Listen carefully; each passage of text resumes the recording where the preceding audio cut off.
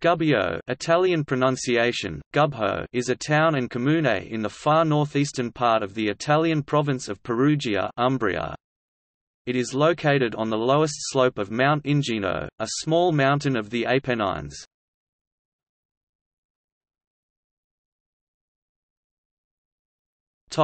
History The city's origins are very ancient. The hills above the town were already occupied in the Bronze Age. As Ikuvium, it was an important town of the Umbri in pre-Roman times, made famous for the discovery there of the Iguvine tablets in 1444, a set of bronze tablets that together constitute the largest surviving text in the Umbrian language.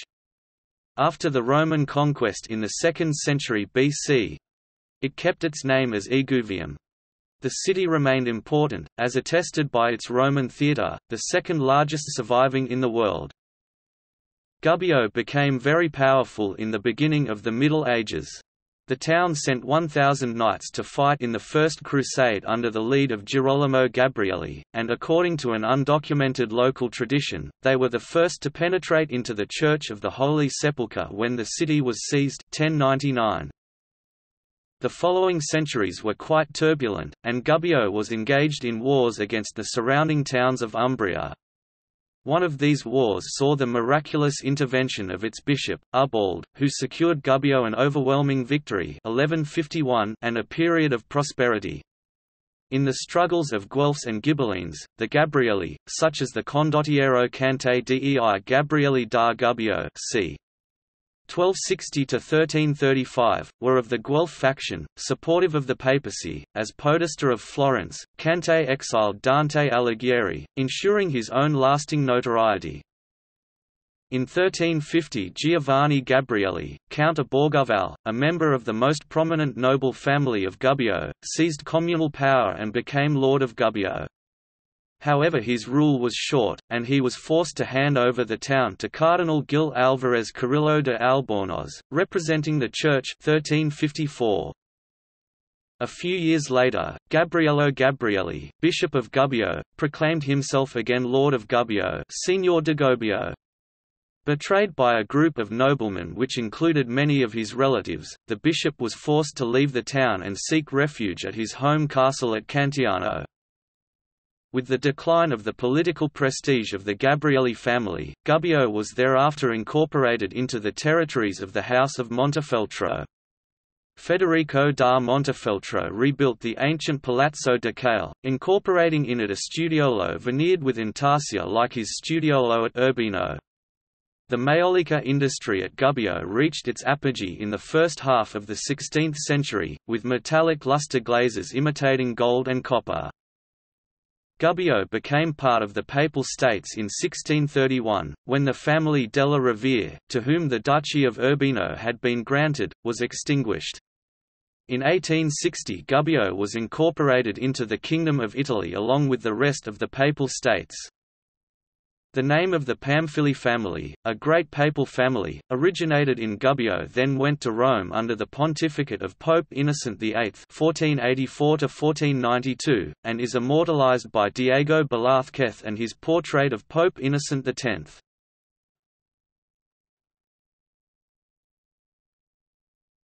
Topic: Geography.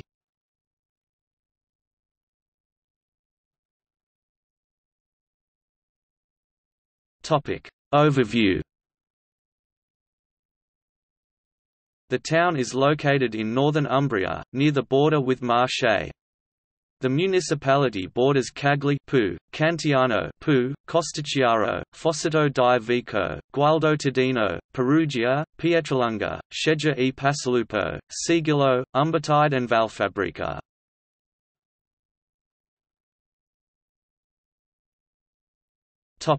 Frazioni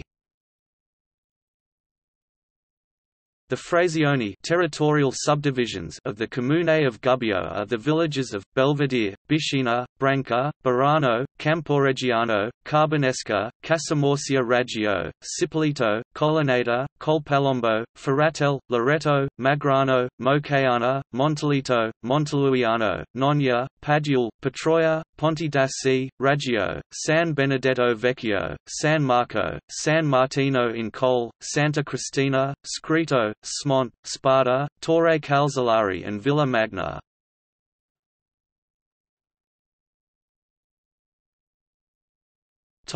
Main sights The historical centre of Gubbio has a decidedly medieval aspect. The town is austere in appearance because of the dark grey stone, narrow streets, and Gothic architecture. Many houses in central Gubbio date to the 14th and 15th centuries, and were originally the dwellings of wealthy merchants. They often have a second door fronting on the street, usually just a few inches from the main entrance. This secondary entrance is narrower, and a foot or so above the actual street level. This type of door is called a porta dei morti door of the dead because it was proposed that they were used to remove the bodies of any who might have died inside the house. This is almost certainly false, but there is no agreement as to the purpose of the secondary doors.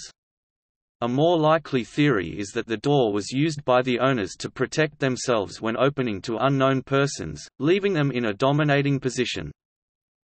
Among most visited buildings and sites in the city are Roman theatre, this ancient open-air theatre built in the 1st century BC using square blocks of local limestone. Traces of mosaic decoration have been found.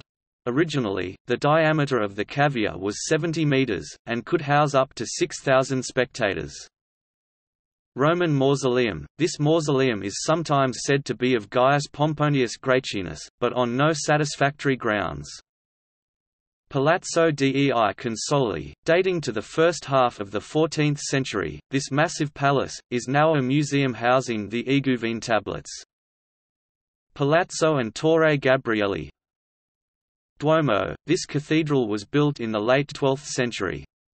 The most striking feature is the rose window in the façade with, at its sides, the symbols of the evangelists, the eagle for John the Evangelist, the lion for Mark the Evangelist, the angel for Matthew the Apostle and the ox for Luke the Evangelist.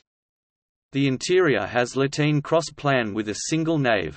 The most precious art piece is the wooden Christ over the altar, of Umbrian school, Palazzo Ducale, the palace built from 1470 by Luciano Laurana or Francesco di Giorgio Martini for Federico da Montefeltro.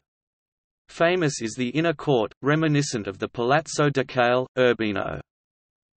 San Francesco, this church from the second half of the 13th century is the sole religious edifice in the city having a nave with two aisles. The vaults are supported by octagonal pilasters. The frescoes in the left side date from the 15th century.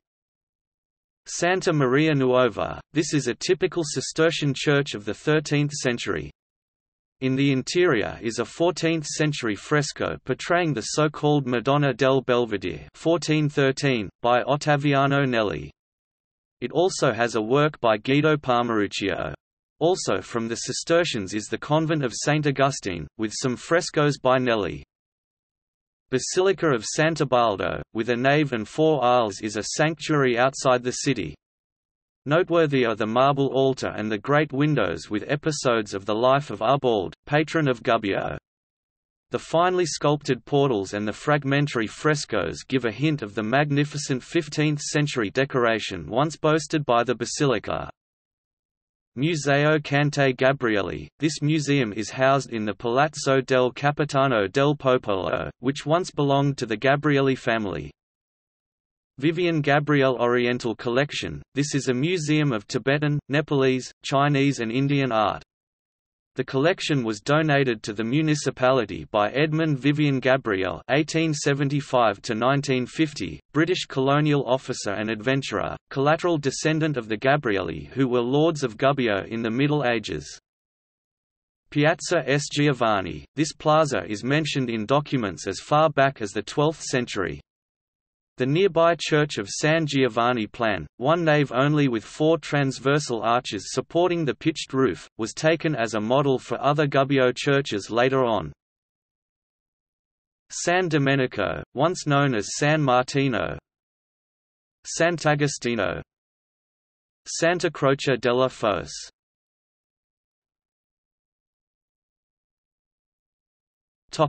Culture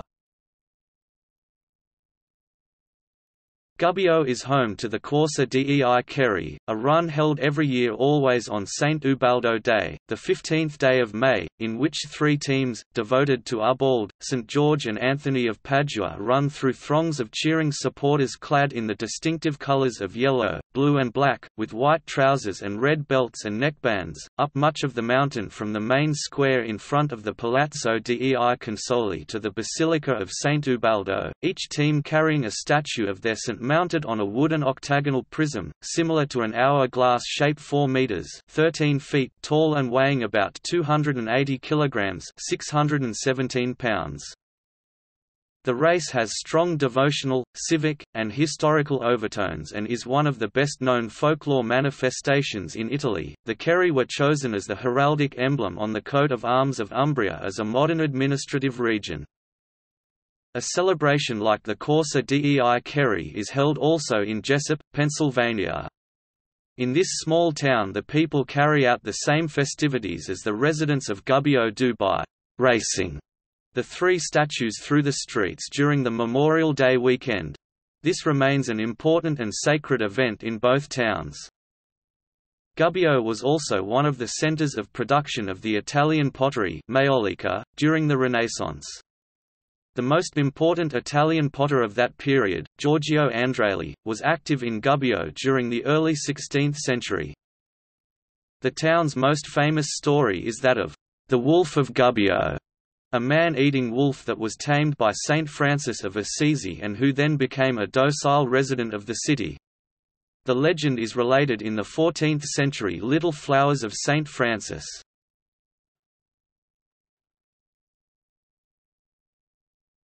The Gubbio layer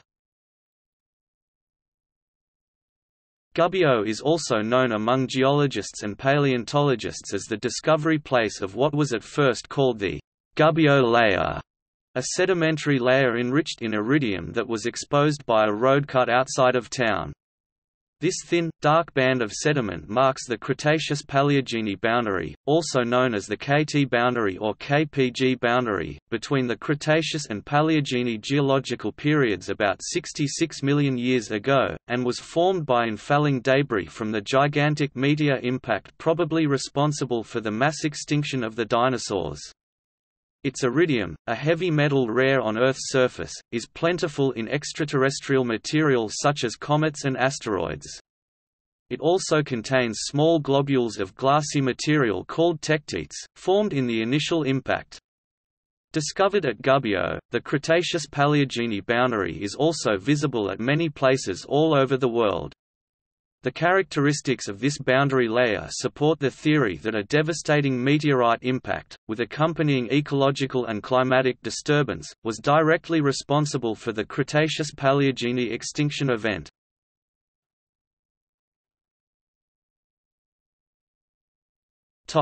Gubbio in fiction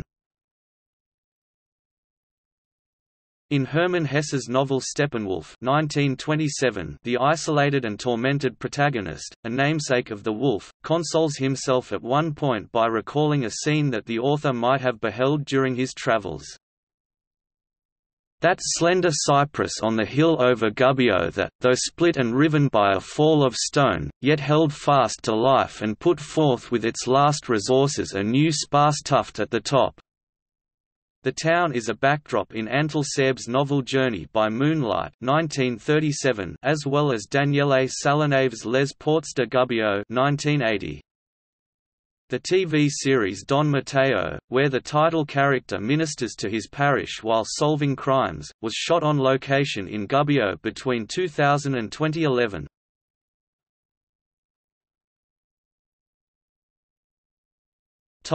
Other Anna Moroni, a popular cook on the Italian daytime TV series, La Prova del Cuoco, discusses Gubbio in many of her TV segments. She often cooks dishes from the region on TV, and she featured Gubbio in her first book.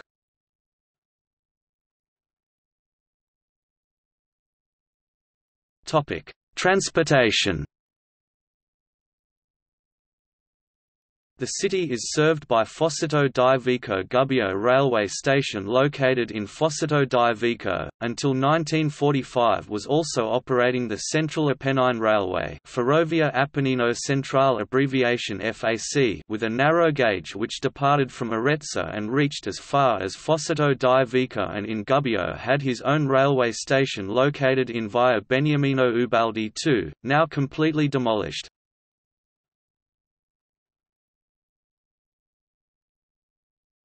Topic: International relations.